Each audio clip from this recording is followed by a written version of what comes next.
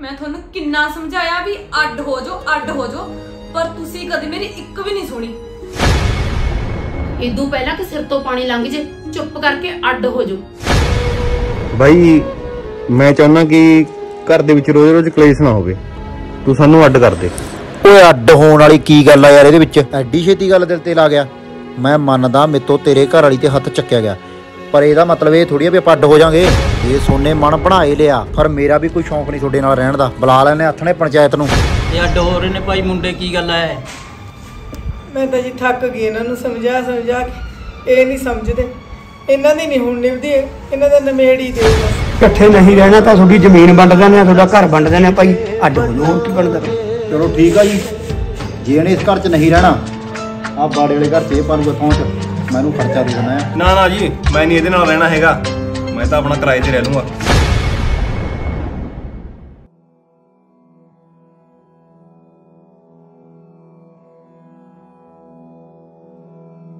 ਕੀ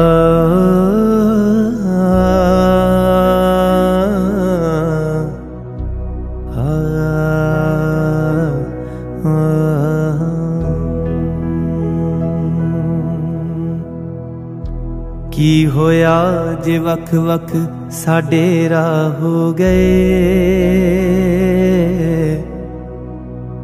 ਬੱਚਿਆਂ ਜੈ ਪਾਲੇ ਸੁਪਨੇ ਸਭ ਤਬਾਹ ਹੋ ਗਏ।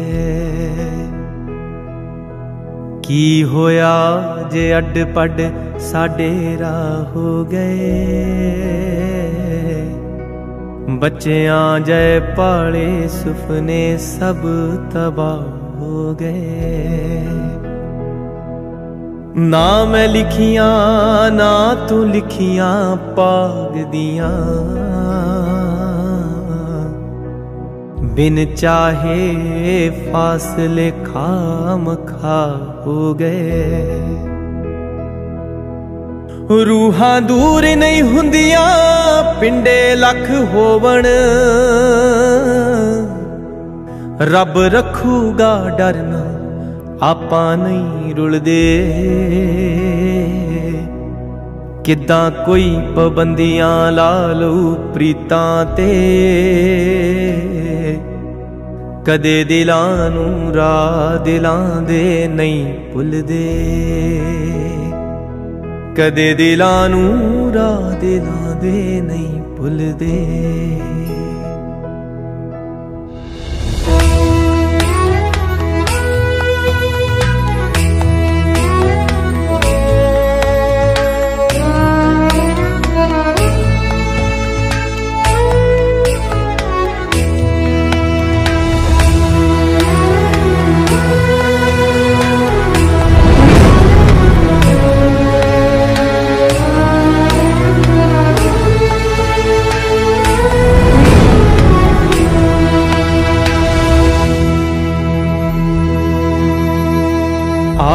ਦੇ ਨਾਲ ਅੰਬਰ ਵੱਡਿਆ ਜਾਂਦਾ ਨਹੀਂ। ਪਾਣੀ ਚ ਕੁਲਿਆ ਪਾਣੀ ਕੱਢਿਆ ਜਾਂਦਾ ਨਹੀਂ। ਆਰੀਆਂ ਦੇ ਨਾਲ ਅੰਬਰ ਵੱਡਿਆ ਜਾਂਦਾ ਨਹੀਂ। ਪਾਣੀ ਚੋਂ ਕੁਲਿਆ ਪਾਣੀ ਕੱਢਿਆ ਜਾਂਦਾ ਨਹੀਂ। ਜੀਵਨ ਦੇ ਇਸ ਕੱਚੇ ਕੂਲੇ ਤਾਗੇ ਨੂੰ। ਪਿਆਰ ਦੇ ਗੁੰਝਲ ਪੈ ਜਾਣ, ਛੇਤੀ ਨਹੀਂ ਖੁੱਲਦੇ।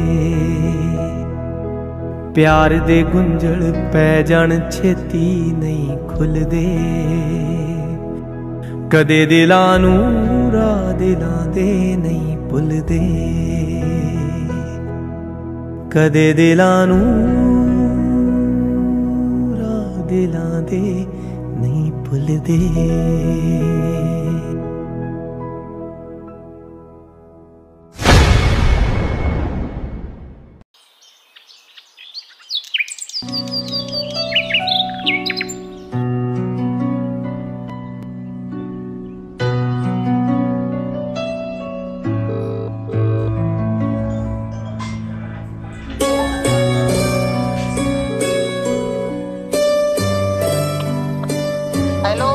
ਅਕਾਲ ਮੰਮੀ? ਸਤਿ ਅਕਾਲ ਪੁੱਤ ਕਿਵੇਂ ਆ?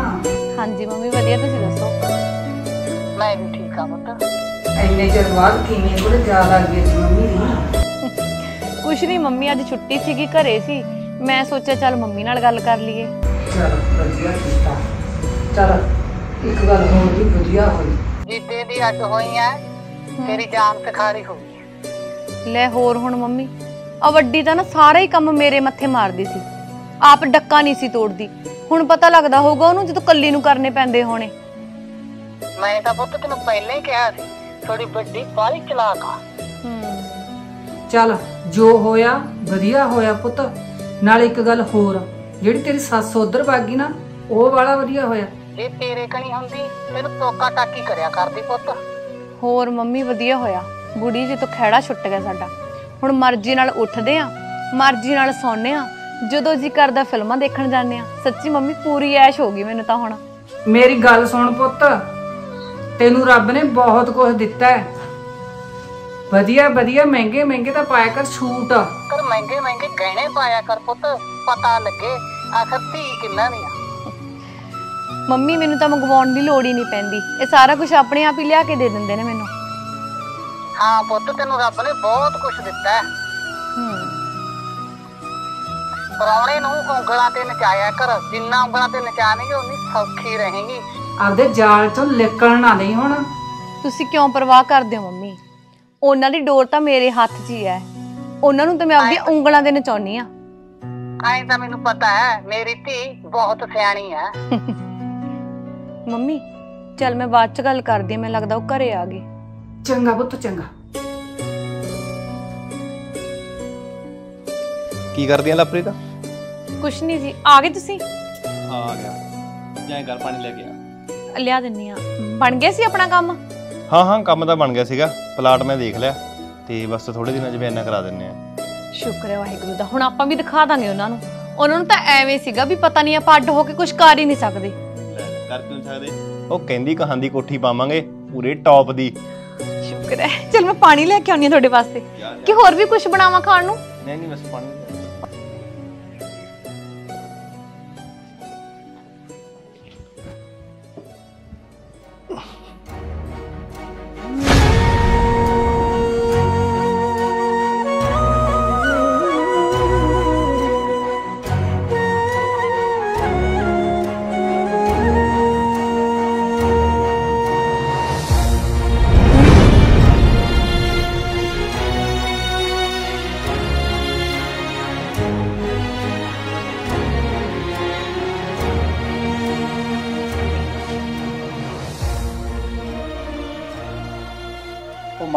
ਕਿਹੜੀਆਂ ਸੋਚਾਂ 'ਚ ਡੁੱਬੀਆਂ ਰੋਟੀ ਠੰਡੀ ਹੋ ਰਹੀ ਆ ਰੋਟੀ ਖਾ ਲਾ। ਹਾਂ ਪੁੱਤ। ਉਹ ਕਿਉਂ ਸੁੱਖ ਸਾਂਦੀ ਰੋਈ ਜਾਂਦੇ ਆ? ਕੋਈ ਮਰ ਗਿਆ ਇੱਥੇ? ਬੇ ਪੁੱਤ ਐਂ ਕਿਉਂ ਬੋਲਦਾ? ਇਹ ਤਾਂ ਨਾ ਮੱਲੋ ਮੱਲੀ ਹੰਝੂ ਨਿਕਲੇ ਆਉਂਦੇ ਨੇ। ਪੁੱਤ ਸੋਨੂੰ ਦੋਏ ਭਰਾਵਾਂ ਨੂੰ ਇਕੱਠਿਆਂ ਰੋਟੀ ਖਾਂਦੇ ਦੇਖ ਕੇ ਨਾ ਮੇਰਾ ਢਿੱਡ ਭਰ ਜਾਂਦਾ ਸੀ। ਹੁਣ ਪਤਾ ਨਹੀਂ ਛੋਟੇ ਨੇ ਰੋਟੀ ਖਾਧੀ ਹੈ ਜਾਂ ਨਾ। ਕੋਈ ਫਾਇਦਾ ਨਹੀਂ ਇਹ ਗੱਲਾਂ ਦਾ। ਹੁਣ ਇੱਕ ਵਾਰ ਵੀ ਸੋਚਿਆ ਜਦ ਤੱਕ ਦੀ ਜਨਾਨੀ ਮਗਰ ਲੱਗ ਕੇ ਅੱਡ ਹੋ ਗਿਆ। ਪੁੱਤ ਉਹ ਤੇਰੀ ਬਹੁਤ ਇੱਜ਼ਤ ਕਰਦਾ ਸੀ। ਤੂੰ ਇੱਕ ਵਾਰੀ ਸਮਝਾ ਕੇ ਤਾਂ ਦੇਖ ਲੈਂਦਾ ਖਬਰ ਨਾ ਹੀ ਅੱਡ ਹੁੰਦੇ। ਹੰ, ਤੈਨੂੰ ਕੀ ਲੱਗਦਾ ਮੈਂ ਸਮਝਾਇਆ ਨਹੀਂ? ਬਥੇਰਾ ਸਮਝਾਇਆ। ਜਦ ਤੱਕ ਕਹਿੰਦਾ ਮੈਨੂੰ ਅੱਡ ਕਰ ਦੋ। ਨਾਲੇ ਤੂੰ ਤਾਂ ਹਮੇਸ਼ਾ ਮਾਤਾ ਮੈਨੂੰ ਇਹ ਕੋਸੇਂਗੀ। ਤਾਂ ਰੋਟੀ ਖਾਣੀਆਂ ਖਾ ਲਾ ਨਹੀਂ ਰਹਿਣ ਦੇ। ਤੁਸੀਂ ਖਾ ਲਓ ਜੀ ਰੋਟੀ। ਮੰਮੀ ਫੇਰ ਖਾ ਲੂਗੀ। ਬਸ ਮੇਰੇ ਤਾਂ ਭਰ ਗਿਆ ਢੱਡੇ ਦੀਆਂ ਗੱਲਾਂ ਸੁਣ ਕੇ। ਆ ਹੁਣ ਤਾਂ ਖੁਸ਼ ਹੋ ਗਈ ਹੋਵੇਂਗੀ। ਤੜਕੀ ਲੱਗ ਜੂਗੀ ਰੋਣਾ ਧੋਣਾ ਕਰਨ। ਆ ਖੇਤ ਗਿਆ ਭੁੱਖਾ ਦਾ ਹੈ ਦੱਸ ਕਿਵੇਂ ਕੰਮ ਕਰੂਗਾ? ਕੁੜੇ ਪੁੱਤ ਇਹ ਜਿਹਾ ਮੈਂ ਕੀ ਕਹਤਾ ਜਿਹੜਾ ਉਹ ਰੋਟੀ ਛੱਡ ਕੇ ਵਗ ਗਿਆ। ਇਹਨਾਂ ਦੇ ਹੁੰਦੇ ਨਾ ਆਪਦੇ ਡਰਾਮੇ ਬੰਦ ਰੱਖਿਆ ਕਰ। ਅੱਖਾਂ ਨੂੰ ਥੁੱਕ ਲਾ ਕੇ ਲੱਗ ਜੂਗੀ ਹੂ ਹੂ ਕਰਨ। ਆਹੋ ਭਾਈ ਤੁਸੀਂ ਮੇਰਾ ਦਰਦ ਕੀ ਸਮਝੋਗੇ? ਵੀ ਮੇਰੇ ਤੇ ਕੀ ਬੀਤਦੀ ਹੈ? ਦੋ ਟੁਕੜੇ ਖਾਣੇ ਹੁੰਦੇ ਖਾ ਲਿਆ ਕਰ। ਤੇਰੇ ਵੀ ਬੇਲੀ ਤੇ ਹਾਜ਼ਮ ਨਹੀਂ ਆਉਂਦੀਆਂ। ਸਾਰੇ ਟੱਬਰ ਦਾ ਜਿਉਣਾ ਹਰਾਮ ਕਰ ਰੱਖਿਆ ਕੱਲੀ ਜਣੀ ਨੇ।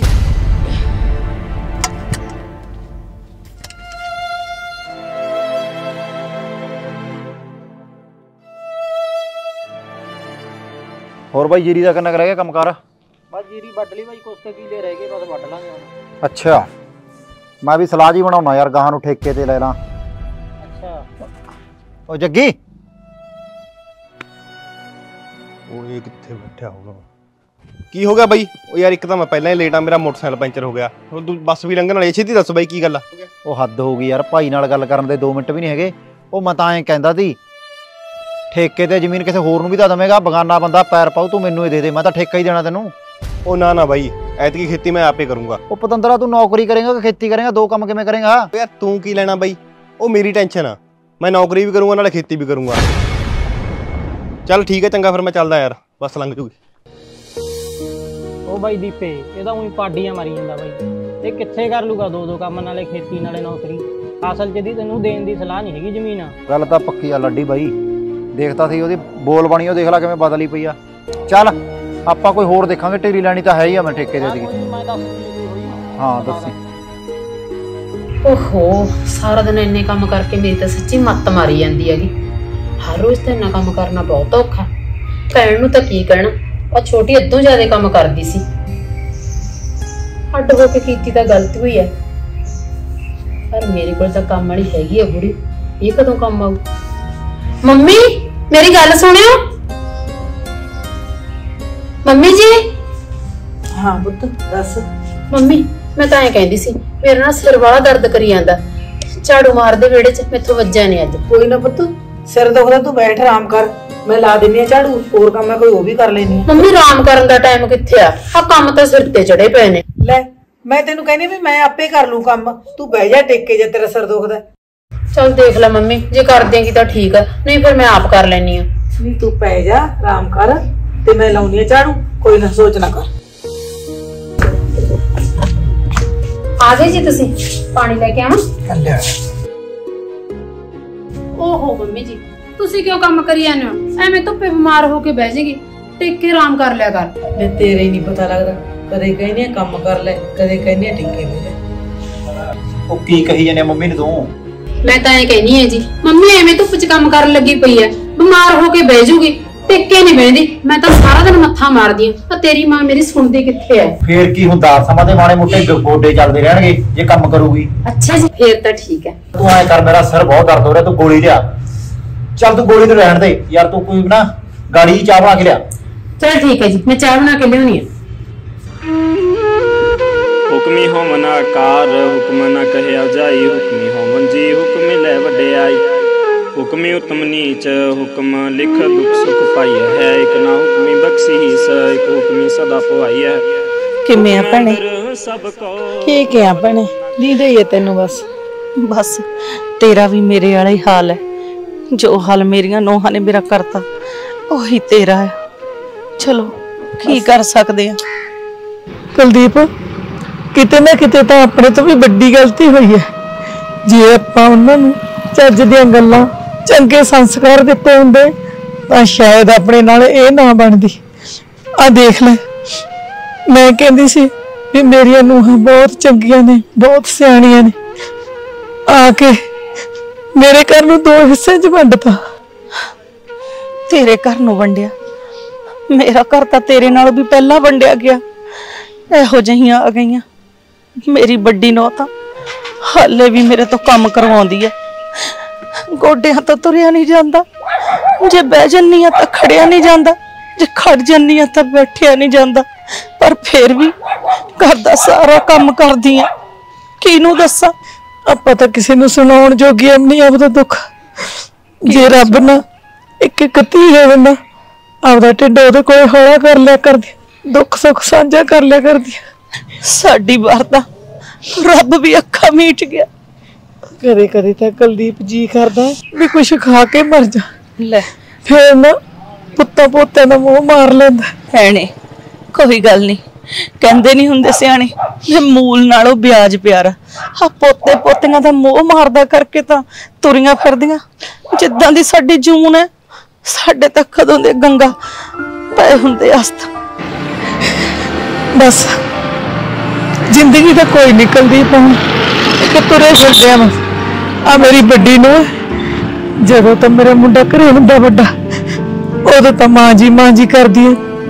ਜਦੋਂ ਉਹ ਵਗ ਜੇ ਨਾ ਸਾਰਾ ਕੰਮ ਕਰਾਉਂਦੀ ਹੈ। ਪਰ ਹੁਣ ਹੁੰਦਾ ਨਹੀਂ ਧੱਕਾ ਹੀ ਹੈ ਸਰੀਰ ਨਾਲ ਬਸ। ਭੈਣੇ, ਕੰਮ ਕਰਦਿਆਂ ਨੂੰ ਤਾਂ ਆਦਨ ਆ ਗਿਆ। ਕਿੰਨਾ ਇਸ ਘਰ ਨੂੰ ਆਪਾਂ ਕੰਮ ਕੀਤਾ। ਤੇ ਆਹ ਨੋਹਾਂ ਨੇ ਆ ਕੇ ਸਾਡੀ ਜੂਨ ਖਰਾਬ ਕਰ ਦਿੱਤੀ। ਕੀ ਦੱਸੀਏ? ਕਿਹਨੂੰ ਦੱਸੀਏ? ਕਿੱਦਾਂ ਦੱਸੀਏ? ਸਮਝ ਨਹੀਂ ਆਉਂਦੀ। ਬਸ ਆ ਗੁਰੂ ਘਰ ਜਾ ਕੇ ਮਨ ਹੌਲਾ ਕਰ ਆਈਦਾ। ਤੂੰ ਵੀ ਗੁਰੂ ਘਰ ਜਾਇਆ ਕਰ। ਦੋ ਘੰਟੇ ਬਾਣੀ ਸੁਣਿਆ ਕਰ। ਮਨ ਹੌਲਾ ਹੋ ਜਾਂਦਾ। ਗੁਰੂ ਘਰੇ ਦੋ ਟਾਈਮ ਜਾਨੀ ਆ ਕੁਲਦੀਪ। ਵੀ ਹੈ ਸੱਚੇ ਪਾਤਸ਼ਾਹ ਹੁਣ ਮੈਨੂੰ ਇਹ ਨਰਕ ਭਰੀ ਜ਼ਿੰਦਗੀ ਤੋਂ ਛੁਟਕਾਰਾ ਦੇ ਦੇ। ਕਿੱਥੋਂ ਛੁਟਕਾਰਾ ਮਿਲ ਜੂਗਾ ਜਿੰਨੇ ਉਸ ਵਾਹਿਗੁਰੂ ਨੇ ਸਵਾਸ ਵਾ ਦਿੱਤੇ ਨੇ ਉਹ ਤਾਂ ਲੈਣੇ ਪੈਣੇ ਨੇ। ਚੱਲ ਚੰਗਾ ਮੈਂ ਘਰੇ ਸਾਰੇ ਕੰਮ ਕਰਨ ਵਾਲੇ ਪਏ ਹੁਣੇ। ਫਿਰ ਮੈਨੂੰ ਗਈ ਨੂੰ ਟੱਪੂਗੀ। ਬਾਲਾ ਬੁੜਬੁੜ ਕਰਦੀ ਐ। ਸਿਹਤ ਦਾ ਖਿਆਲ ਰੱਖੀ ਨਾਲੇ ਇੰਨਾ ਰੋਇਆ ਨਾ ਕਰ ਅੰਨੀ ਹੋ ਜਾਊਂਗੀ। ਇੱਥੇ ਸਾਨੂੰ ਹੁਣ ਤਾਂ ਕੁਝ ਪੁੱਛਦਾ ਨਹੀਂ ਕੋਈ। ਪੁੱਛਣਾ ਕੀ ਜੇ ਅੰਨੀਆਂ ਹੋ ਗਈਆਂ ਰੋ ਰੋ ਕੇ ਫਿਰ ਕਿਹਨੇ ਪੁੱਛਣਾ? ਚੱਲ ਠੀਕ ਹੈ ਚੰਗਾ। ਚੰਗਾ ਭੈਣੇ ਜਾਇਆ ਦੇਖ ਲੈ ਹੋਰ ਡਾਡੇ ਦੇ ਰੰਗ। ਇਹ ਵੀ ਵਿਚਾਰੀ ਮੇਰੇ ਵਾਂਗੂ ਦੁਖੀ ਐ ਕਿਹਨੂੰ ਦੱਸੀਏ ਦੁੱਖ? ਸਾਡੀ ਵਾਰ ਤਾਂ ਰੱਬ ਵੀ ਅੱਖਾਂ ਲੱਗਦਾ ਮੀਟ ਗਿਆ। ਕਿੰਨਾ ਕੰਮ ਕੀਤਾ ਸਾਰੀ ਉਮਰ। ਤੇ ਆ ਜੋ ਅੱਕਾ ਨੇ ਚੱਲ ਭਾਈ ਜੋ ਵਾਹਿਗੁਰੂ ਨੂੰ ਮਨਜ਼ੂਰ। ਉਹ ਕਾਪੀ ਕਿੱਥੇ? ਇੱਥੇ ਪਈ ਹੋਣੀ ਜੀ ਧਿਆਨ ਨਾਲ ਦੇਖੋ।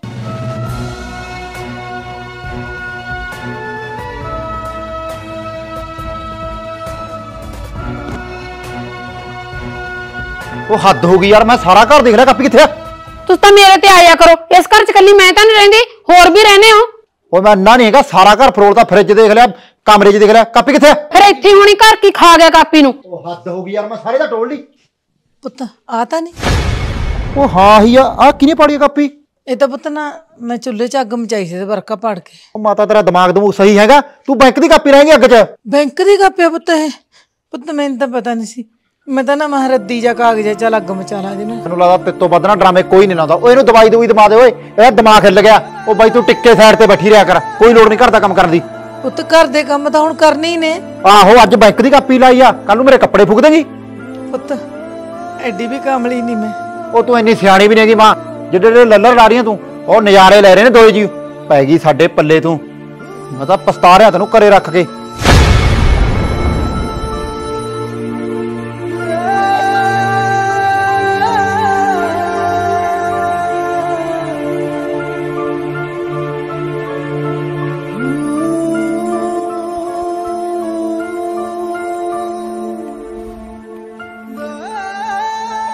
ਮਾਸਟਰ ਜੀ। ਉਹ ਆ ਵੀ ਆ ਕਾਲੇ।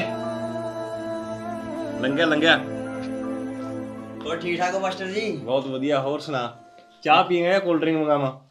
ਨਾ ਬਾਈ ਪਾਣੀ ਲਾ- ਮੰਗਾ ਦੇ ਬਾਈ। ਲਵਪ੍ਰੀਤ? ਹਾਂਜੀ। ਪਾਣੀ ਲੈ ਕੇ ਆਈ ਯਾਰ। ਹਾਂਜੀ ਆ। ਹੋਰ ਬਾਈ ਵਧੀਆ ਨਾ? ਸਭ ਵਧੀਆ ਸਭ ਵਧੀਆ। ਤੂੰ ਦੱਸ ਕਿਵੇਂ ਆਣੇ ਹੋਏ ਅੱਜ? ਬਸ ਆਪਣੇ ਛੋਟੇ ਭਾਈ ਦਾ ਵਿਆਹ ਸੀਗਾ। ਅੱਛਾ। ਮੈਂ ਕਿਹਾ ਚੱਲ ਬਾਈ ਉਹਨਾਂ ਨੂੰ ਕਾਰਡ ਦੇ ਆਵਾਂ ਉਧਰ ਆਪਣੇ। ਆ ਲਓ ਵੀ ਪਾਣੀ। ਹੋਰ ਠੀਕ ਹੋ ਬਾਈ? ਹਾਂਜੀ ਤੇ ਯਾਰ ਰੱਖ ਤਾਂ ਫਿਰ ਵਿਆਹ ਹੈ ਐਤਕੀ? ਹਾਂ ਬਾਈ ਰੱਖਤਾ। ਓਕੇ ਕਿੰਨੀ ਕੁ ਤਰੀਕ ਦਾ? ਬਸ 15 ਕੁ ਦਿਨ ਨੇ ਬਾਈ। ਓਕੇ ਓਕੇ ਹਾਂ ਬਾਈ। ਚਲੋ ਵਧੀਆ ਕਰਿਆ ਯਾਰ। ਬਾਈ ਗੱਲ ਕਹਿਣੀ ਸੀ ਇੱਕ। ਦੱਸੋ। ਗੁੱਸਾ ਤਾਂ ਨਹੀਂ ਕਰਦਾ ਬਾਈ। ਨਾ ਨਾ ਯਾਰ ਮੈਂ ਕਾਹਨੂੰ ਗੁੱਸਾ ਕਰਦਾ ਬਾਈ ਤੁਸੀਂ ਅੱਡ ਹੋਏ ਹੋ ਮੈਨੂੰ ਇਹ ਗੱਲ ਸੁਣ ਕੇ ਬਹੁਤ ਮਾੜਾ ਲੱਗਿਆ ਬਾਈ। ਦੁੱਖ ਹੋਇਆ ਬਾਈ ਮੈਨੂੰ ਗੱਲ ਦਾ। ਉਹ ਬਈ ਪਤਾ ਕੀ ਆ? ਜਦੋਂ ਘਰ 'ਚ ਇਦਾਂ ਅਣਬਣ ਰਹਿਣ ਲੱਗ ਜੇ ਨਾ ਫਿਰ ਤਾਂ ਯਾਰ ਇੱਕ ਪਾਸਾ ਕਰਨਾ ਹੀ ਚੰਗਾ ਹੁੰਦਾ। ਉਹ ਤਾਂ ਹੈ ਬਾਈ ਪਰ। ਚਲੋ ਬਾਈ ਬਾਕੀ ਪਰਮਾਤਮਾ ਦੀ ਮਰਜ਼ੀ ਹੈ ਹੁਣ ਅਸੀਂ ਵੀ ਤਾਂ ਚੱਲ ਦੇਖੋ ਇਕੱਠੇ ਰਹਿ ਰਹੇਗੇ ਪਰ ਬਾਈ ਇਕੱਠ ਵਰਗੀ ਮੌਜ ਨਹੀਂ ਹੈਗੀ ਬਾਈ ਚਲੋ ਆਪਾਂ ਵੀ ਕੀ ਗੱਲਾਂ ਲੈ ਕੇ ਬਹਿ ਗਏ ਹੈ ਤੂੰ ਆ ਕਾਰਡ ਫੜ ਬਾਈ ਪਹੁੰਚੇ ਬਾਈ ਜ਼ਰੂਰ ਹੈ ਹਾਂ ਹਾਂ ਬਾਈ ਜ਼ਰੂਰ ਹਾਂ ਬੇਨਤੀ ਹੈ ਬਾਈ ਬਣ ਕੇ ਹੈ ਜ਼ਰੂਰ ਆਵਾਂ ਬਾਈ ਕਾਲੇ ਯਾਰ ਕਹੀ ਗੱਲ ਕਰਤੀ ਤੇ ਕੋਈ ਨਾ ਕੋਈ ਪੂਰੀ ਠਾਠ ਫਾੜ ਨਾਲ ਪਹੁੰਚਾਂਗੇ ਹਾਂ ਠੀਕ ਹੈ ਚੰਗਾ ਬਾਈ ਠੀਕ ਹੈ ਬਾਈ ਠੀਕ ਹੈ ਜੀ ਲਵਪ੍ਰੀਤ ਹਾਂਜੀ ਉਹ ਐ ਕਰਦੀ ਰੋਟੀ ਬਣ ਗਈ ਲੈ ਲਿਆ ਯਾਰ ਖਾਈਏ ਫਿਰ ਹਾਂਜੀ ਲਿਆਉਣੀ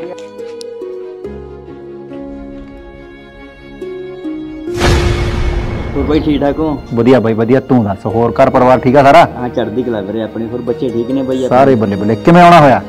ਬਾਈ ਆਉਣਾ ਤਾਂ ਆਪਣੇ ਛੋਟੇ ਭਾਈ ਦਾ ਵਿਆਹ ਸੀਗਾ।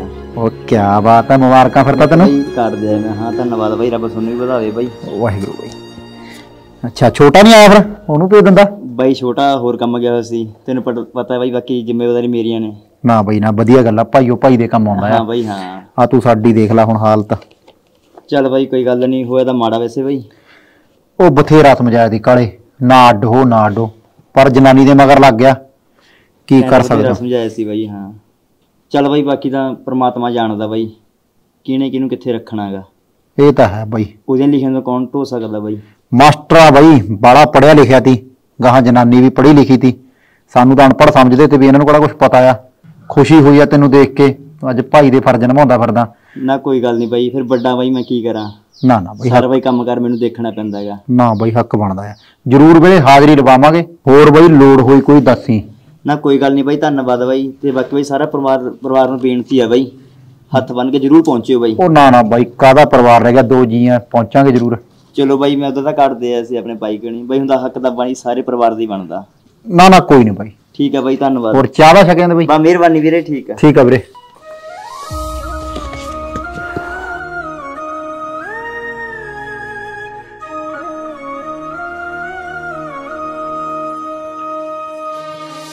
ਉਹ ਲਾਪਰੀ ਤਾਂ ਆ ਜਾ ਯਾਰ ਹੁਣ ਕਿੰਨਾ ਟਾਈਮ ਲਾਣਾ ਹੋਰ? ਹਾਂਜੀ ਹਾਂਜੀ ਆ ਗਈ ਬਸ। ਆ ਯਾਰ ਜਲਦੀ। ਚੱਲੀਏ ਫਿਰ। ਤੇ ਨਾਲੇ ਮੇਰੀ ਗੱਲ ਸੁਣ। ਬਾਜ਼ਾਰ ਜਾ ਕੇ ਪੂਰੇ ਮਹਿੰਗੇ ਮਹਿੰਗੇ ਕੱਪੜੇ ਲੈ ਕੇ ਆਣੇ ਆਪਾਂ ਨੇ। ਉਹਨਾਂ ਨੂੰ ਵੀ ਪਤਾ ਲੱਗੇ ਕਿ ਅਸੀਂ ਅੱਡ ਹੋ ਕੇ ਕਿੰਨੀ ਐਸ਼ ਕਰਦੇ ਆਂ। ਠੀਕ ਹੈ ਜੀ। ਮੈਂ ਨਾ ਜੀ 15 15 ਹਜ਼ਾਰ ਵਾਲੇ ਦੋ ਸੂਟ ਲੈ ਕੇ ਆਉਂਗੀ। ਉਹ ਯਾਰ ਕਿਹੜੀ ਗੱਲ ਕਰਤੀ ਤੂੰ? ਉਹ ਤੂੰ ਦੋ ਛੱਡ ਤੂੰ ਤਿੰਨ ਲੈ ਲਈ। ਸੱਚੀ? ਹਾਂ ਜਿਹੜੇ ਜਿਹੜੇ ਪਸੰਦ ਆਏ ਬਸ ਚੱਕ ਲਈ। ਥੈਂਕ ਠੀਕ ਆ? ਆ ਚੱਲੀਏ ਫਿਰ।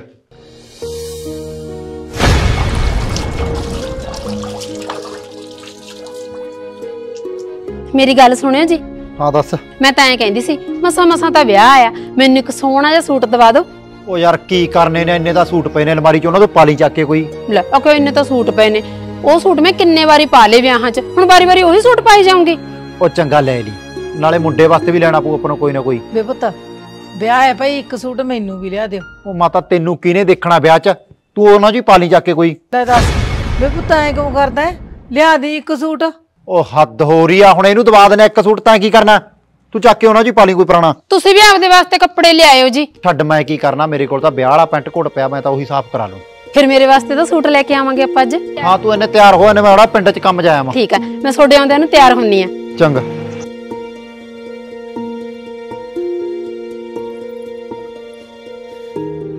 ਉਹ ਮੇਰੀ ਗੱਲ ਸੁਣਦੀ ਆ ਹਾਂਜੀ।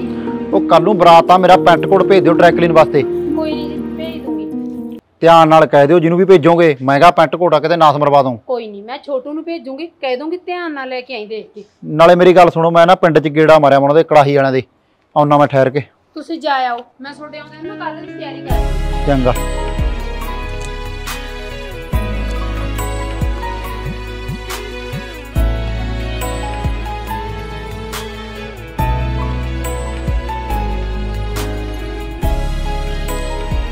ਓਹੋ, ਫੋਨ ਤਾਂ ਅੰਦਰ ਹੀ ਰਹਿ ਗਿਆ। ਮੈਂ ਛੋਟੂ ਨੂੰ ਫੋਨ ਵੀ ਕਰ ਹੀ ਦੇਵਾਂ।